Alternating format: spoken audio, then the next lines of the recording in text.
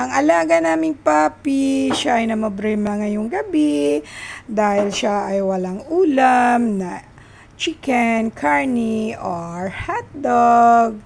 Kasi ang lola ay walang pera to buy a chicken and pig and hotdog.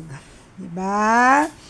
Ngayon, ang aming tita na yan ay naghanap ng pera para makabili si Maki ng chicken niya.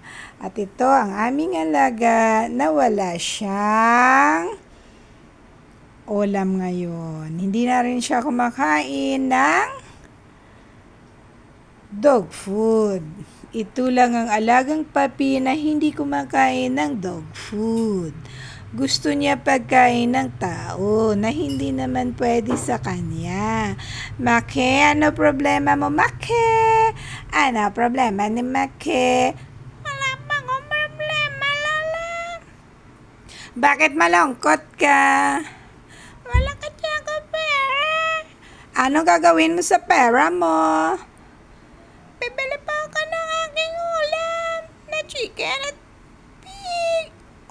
Ay, kawawa naman si Makmak. Kawawa naman yan. Kawawa naman yan ang aming uh, papi. Ano problema ni Makmak? Wala lola. Wala wala pera. Problema Makmak. Oh, kita mo guys, malungkot siya. Ito ang aming alaga na malungkot kasi wala siyang alam ngayong gabi.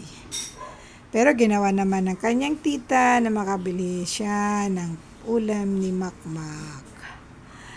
Thank you guys. Thank you for watching. Thank you. Don't forget to like and subscribe to my YouTube channel. And don't forget to click the button bell para ma-update kayo sa lahat ng aking bagong videos. Sabihin mo sa kanila, good night. Oh, nagsama na ang loob niya. Thank you for watching, guys. Thank you.